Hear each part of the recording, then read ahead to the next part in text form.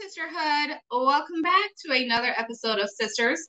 Today it's a bit more of a somber show that we have for you, but nonetheless, it's very important that we do this show. Stay tuned.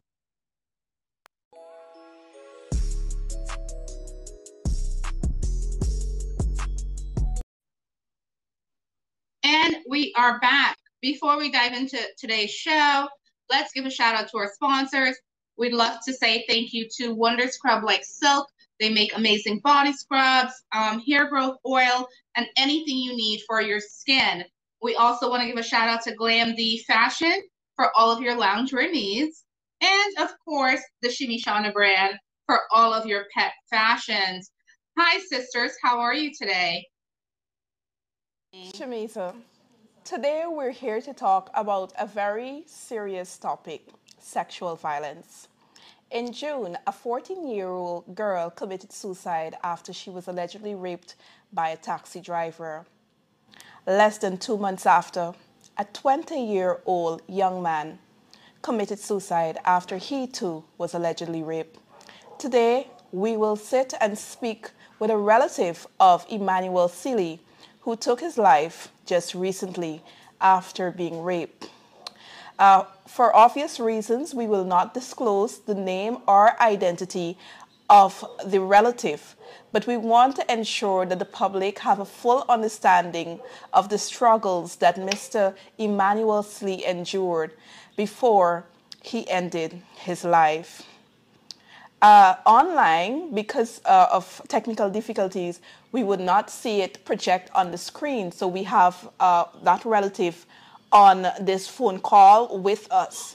And so I will, before we get into um, what was the heinous act committed against Mr. Sealy, we would want to know who was 20 year old Emmanuel Sealy.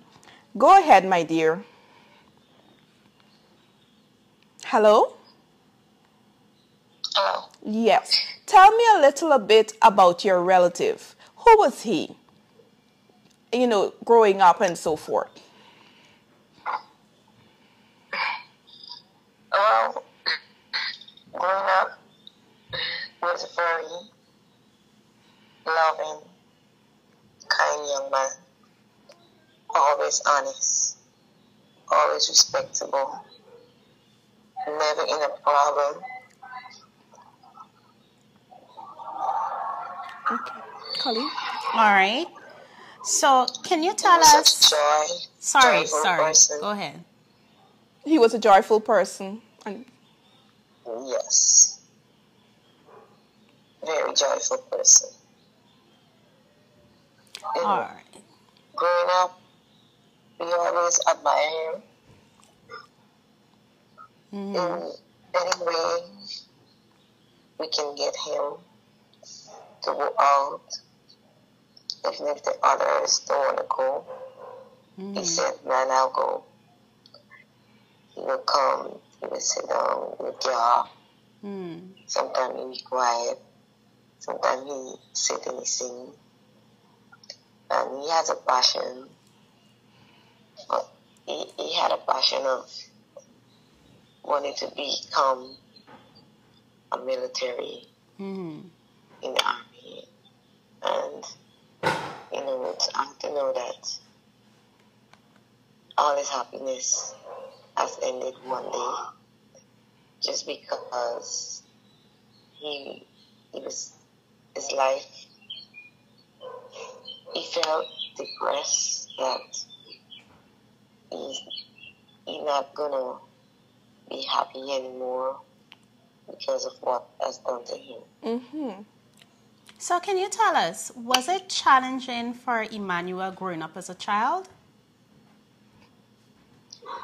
Yes. Um, what happened, his mother had passed when he was very young. So he remains with his close relatives. Mm-hmm. And from that day, he remains with his close relatives, very be treated loving. And there's so much. He wa- he had another sibling that died. Yes, he had a brother that passed away with leukemia cancer. Mm-hmm. Yes, so, and three of them, two boy and one girl. So he, Emmanuel, was the big one. Mm-hmm. So he always play a great role in their life, but he couldn't have done much as he could because at that time he was very young, he couldn't have that he can assist them with relatives. Used to try and assist them Mm. in which way they could. Okay. So, But mhm. Go ahead. Yeah, okay. But he already signed it up in the army, and when he was to go in now to do the, he went and trained and everything. Mm-hmm. And when they wanted him to start, like to go on the course for the three months, he um he kind of started the trip by going to the upper Bridge and to take his life. Mm. so we will get which he was drugged. mhm, we'll get to that part shortly. Did you realize that Emmanuel all was not well with Emmanuel? At what point did you realize? Okay. This incident, when I really realized that he was not well, that was in March. Mhm. In March, Mm-hmm. when um he tried to take his life on the Harbour Bridge, that's when I knew that something went wrong. But the incident happened before. Tell us about that. Yes. This incident occurred in January, where he was drugged Mm. and raped.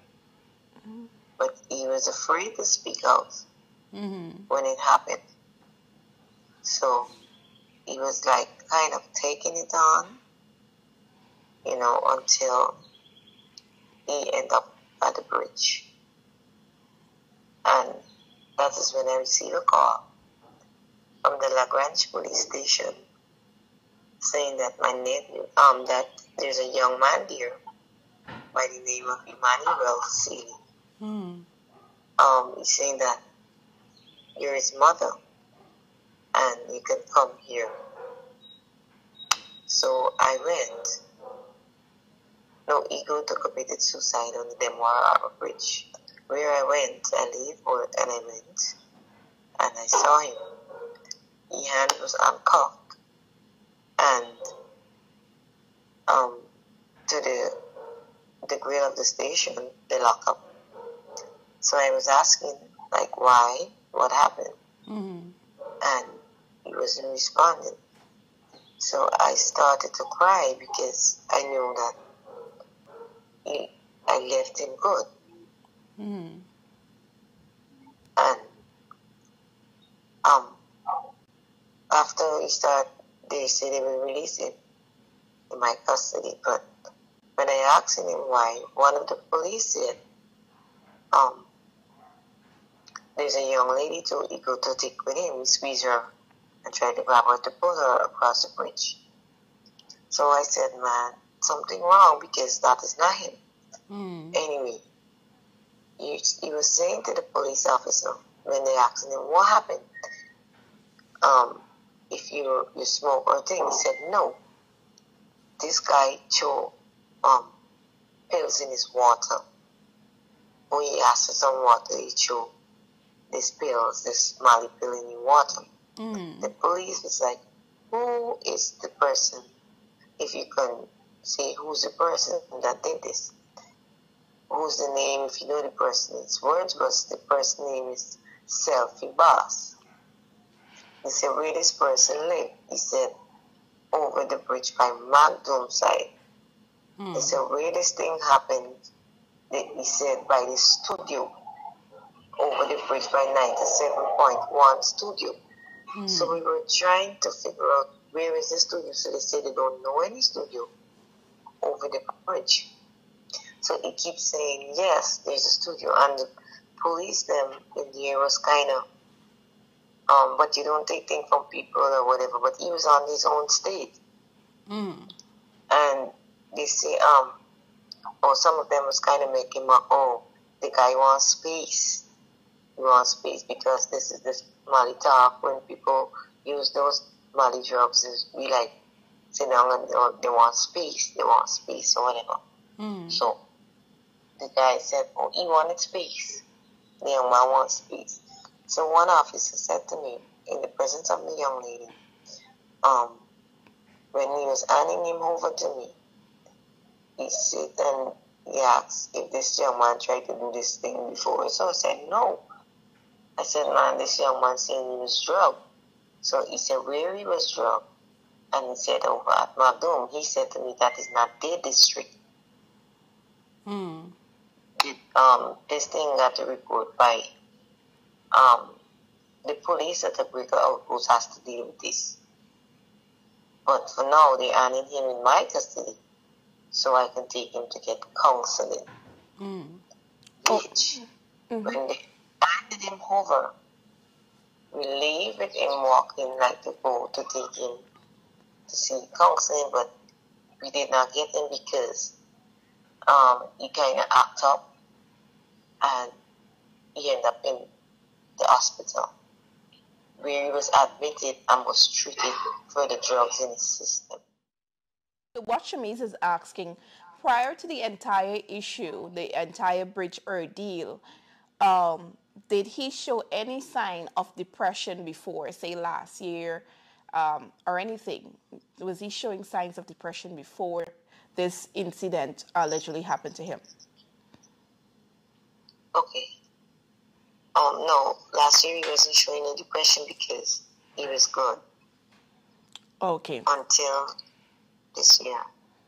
Okay, so I know the matter is now engaging the attention of the Guyana police force, and the alleged accused uh, would have been taken into custody and subsequently released uh, based on an intervention by his attorney. Uh, also, since the matter or since the story broke last week, we've heard a lot on social media, you know, the court of, of public opinion. And so we would want you to clear up some um, what you probably consider misconceptions.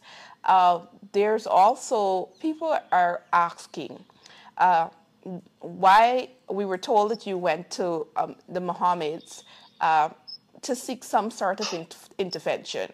We would want to know what is the truth behind that act. Did you go to the Mohammeds indeed? And if yes, what was your intention at that point? Because they're asking, oh, why did you know this relative go to the Mohammeds and not to the police as Right.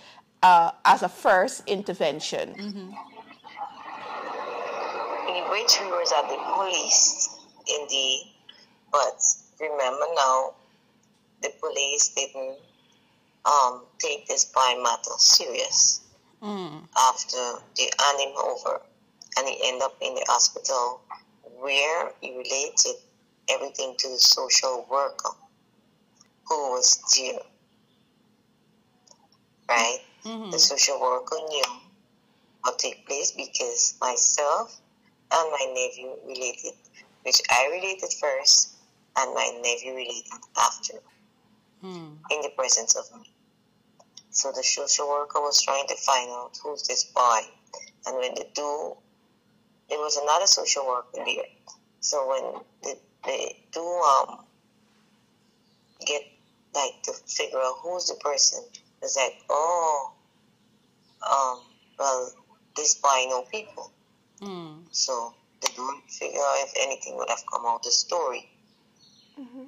But um, for now, he's signing up a paper for me to let he be um, checked by, examined by the doctor for his head because this thing keep telling him to kill himself. Mm. He even tried to do it in the hospital through the window. Mm. Okay, So and they had to tie him down there. okay, So after that, when the social worker related whatever, and they told me when to bring him back, which I have the paper Mm. for him to see a doctor with a psychologist about You know, if he if this thing is messing with his brain or whatever. Anyway, um, when he get discharged, we came home. The social worker did ask me, call me the day for him to come. And I said, man, he left to go out with my mom. Hmm. I said, okay, well, if he don't come back today, any other day, I can go to Georgetown Public Hospital and just ask for the psychiatrist ward, psychologist ward or so. Hmm. And from there, they will treat him. But I never get the chance to take him back there. Mhm. And um, as we then we try with him for him to come around, but if he, you know, like decided to walk by himself, we gotta be with him, and so, or my Mhm. mom or somebody gotta be with. him. We were there, and you wouldn't want to be. You just like taking on this thing now. When you do catch yourself and you sit down and talk to him, man, you gotta be lively.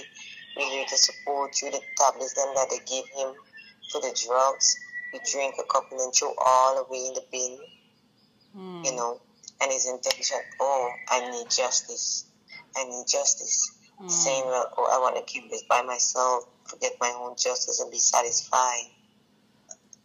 Right? Now, when you walk the streets, if some friends would bang him and hail him to give him good strength, some would be like, oh, but his body Boy? He's an anti-man.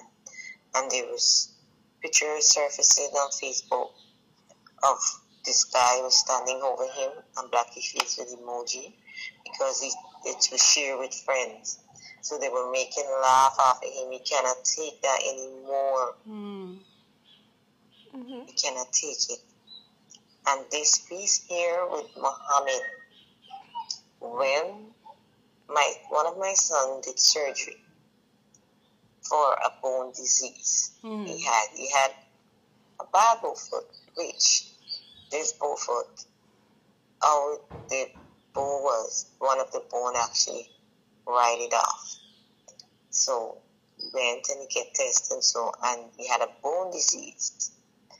So um he is home with antenna in his foot and his words was to me the mommy, um, it's hard on me when I gotta be in the wheelchair. Sometimes I wanna move to go buy something for myself or so. I can't go. I, I'm I'm not uh, um not comfortable. Gotta calling people so um they don't want to write a letter for me to Mr. Muhammad. I see he's sharing thing to people. He's helping them out. Um, they want to ride for a electric bike for me. I said no problem. You sure? He said yes. I said all right, and I ride it. I took it in for him, and I said, asking him for the bike. So wise, he called me. I went, and when I went, um, I raised the topic because they mentioned something about selfie boss, and somebody was using on Facebook or something like that. So I said to him, I said, um, excuse me, sir. Um, the same guy that you guys talking about, the same selfie boss. Um, I have a nephew that he drugged and raped. Hmm. Um, he said, what? I said, yes, there's a nephew was drugged and raped by this individual. And you can't catch yourself onto this deep. He said, um, your nephew, you sure? I said, yes. He said, your nephew's not in for gay or so. I said, no. He said, okay. Right there, he placed his phone and put it on speaker in the presence of people who, who was there, a girl, a boy, this cameraman, Hmm. himself, me, and a fat guy worked with him. I knew everybody was there. And when I talked, when he called selfie boss, when he called this guy, the guy was like, um, he said, hey, selfie boss, this young man by the name of Emmanuel Seeley, where is he? He said, Emmanuel Seeley, remember the phone is on speaker. Hmm. He said, I don't know um, nobody by that name. He said, Selfie boss, this young man, Emmanuel Seeley, used to come by the 97 studio that you say you have. Where is he? He said he don't know nobody by the name. He said, you get vexed. A selfie boss. There's one thing it takes to bring you down in life. This young man, Emmanuel City, that you were drugged and were, were drugged and raped by you. Where is he? He paused about 10 to 15 minutes. Didn't hear anything back from him. Mm. So people there was like, it's true. Because you see, he passed. They believe her. I believe her. He said to him, so he said to, he did believe. I he cut off. Then, couple minutes, Selfie Boss texts him just as he cut off Mm-hmm. And said, Boss, that name did not ring a bell in my ears. Then he said, um, he called him back. Um, the guy called back Mohammed and said, Sir, um, something. He said, I don't have the time to talk to you right now. And from there, when he cut off, he said to me, Where is your nephew right now? I said, He's on the Linden Highway, who grew with my mom, spending some time. He Mm. said, Okay, get your nephew and bring him. I wanted to see him. And I said, No problem. He asked what I wanted out of this matter. I said, Sir, all I wanted is justice for him. I don't need anything else but justice for him. Mm. He said, Well, I cannot give you justice, but you will have to get justice from the police. Mm. But bring the young man. I get contact to bring him. He said, just bring him anytime. I get contact to bring him. And when I bring him the other time, which he gave me what he had to give me for my son and the donation of the, the electric bike. And I left. When I get my nephew to come, that was on his birthday on the 12th of August. We saw Mr. Muhammad there. He had his cameraman. Yeah. Move, move, mama. He had his cameraman. And he had, and he had this news reporter there. There was a news reporter there. I think he be on nine, um, 28, but I knew him well. And I Mm. see him. We all sit in the presence of my nephew. Muhammad was standing. He said to me, he said to my nephew, What happened? News reporter who said, Say what happened. I said to him, Yes, this is my nephew here. My nephew was sitting. Please go. He said, um, yes, um, don't, be afraid to talk. Don't be afraid to talk. My nephew said, okay. Mr. Muhammad said to my nephew, um, right? That's the, the son. He said to him, don't be afraid. Tell me what happened. Is this did to you? He watching him with tears in his eye. I said, Dad, baby, don't frighten. He said, I'm here to help you. Did Selfie Boss did this to you? He said, yes. He said, what? He said, you know where this happened to you? He said, at McDonald. He said, you know, because it's there you living. He turned and he said, well, I think Selfie Boss got to come and compensate this youth man.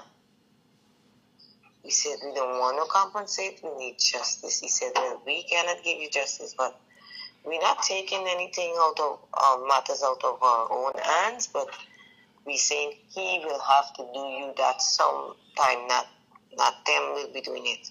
Mm. So at that time, he said, All right, we will try to get him here. In the meantime, we will have to locate the police because when my nephew admitted it and he wanted to confront it again in front of Selfie Boss.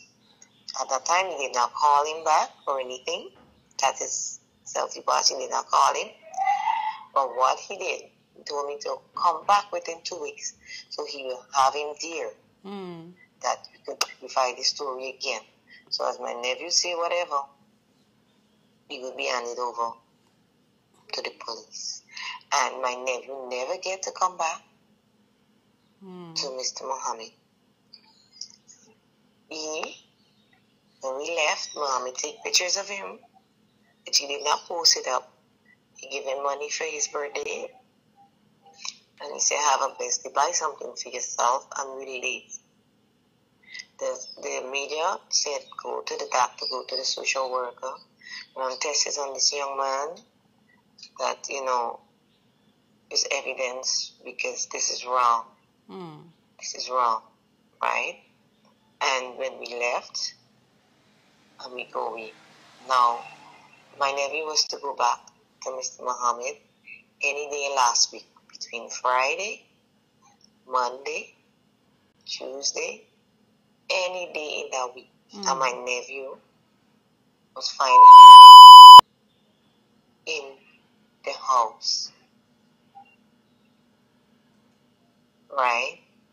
And I went back to Mr. Muhammad and I said to him, My nephew died. Felt like he took his life. He said, What? He held his head and he was walking up and down. He said, Wow, what are we gonna do from there? He said some justice has to come out from this story because this young man took his life. He said, um, well, we will have to bury him. You just come up with what you have and I'll help you out. But this is not right. You need justice. We never asked anybody for no money. We never asked for no compensation. All we asked for justice. The young man said, I need justice. Mm. That is what he said, and that's what we remain saying. Right?